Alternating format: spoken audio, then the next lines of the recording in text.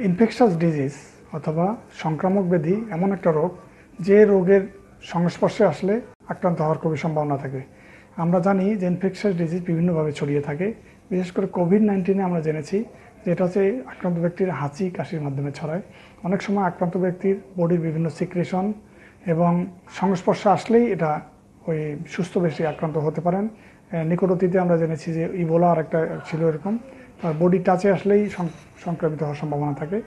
চিকিৎসক এবং আইনশৃঙ্খলা বাহিনীর মতোই অন্যান্য পেশার তুলনায় সাংবাদিকরা ভালো স্বাস্থ্য ঝুঁকিতে থাকেন, বিশেষ করে যারা আক্রান্ত ব্যক্তির সংস্পর্শে এসে সেবা স্বাস্থ্য সংক্রান্ত তথ্য সংগ্রহ করেন এবং যারা স্বাস্থ্যসেবা প্রদানকারী, বিশেষ করে যেসব ইনফেকশন এজেন্টের কাছাকাছি গিয়ে অনেক সময় সংবাদ ধারণ করে এবং প্রচার করে থাকেন, সেসব ক্ষেত্রে যথেষ্ট সংক্রামিত হওয়ার সম্ভাবনা থাকে। এই কন্ডিশনগুলোতে সুরক্ষার ব্যাপারে নজর দেওয়া উচিত। এবং যথাযথভাবে সুরক্ষা গ্রহণ করে তারপর এই সংবাদ সংগ্রহ এবং সংবাদ ধারণ এবং প্রচার করা উচিত।